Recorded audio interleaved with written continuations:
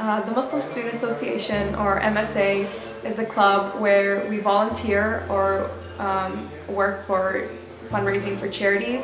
Um, that's primarily what our goal is, but also it's a place where we can have Muslims in our school come together and have an area to socialize.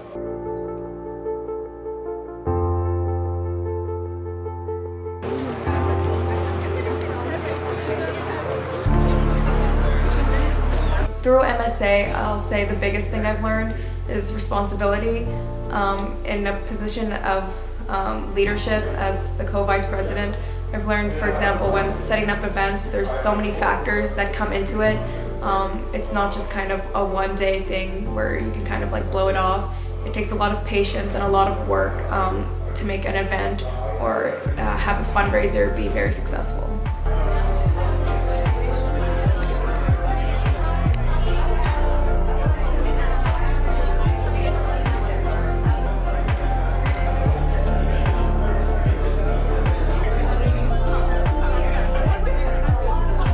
I see hopefully for it to expand. Um, we have about 20 members um, and I really want us to expand where we can work with our school more closely um, and through there we can have bigger events and help out more people or raise more money.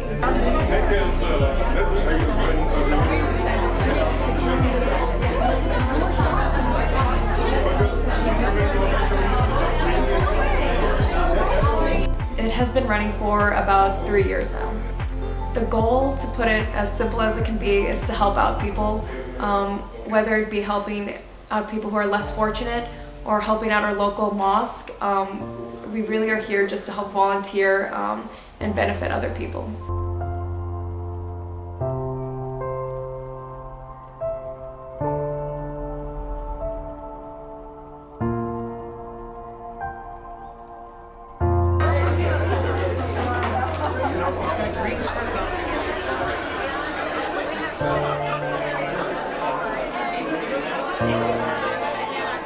I really like that we can come together, whether it be with people I know, my friends, or people I don't, maybe someone I've just met, um, that together we can come and volunteer and help out other people. I think it kind of shows like the importance for, of all of us there working um, is really in the end to volunteer and make sure that we're able to successfully um, help out someone as much as we can.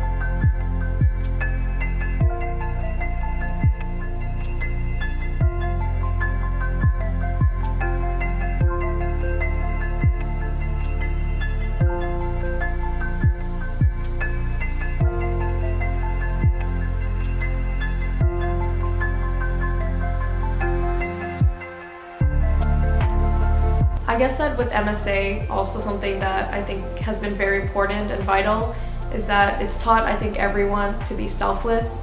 Um, when we do volunteer or fundraise, um, it's never for personal gain. It's always been, in the end, to help out uh, someone else, someone less fortunate.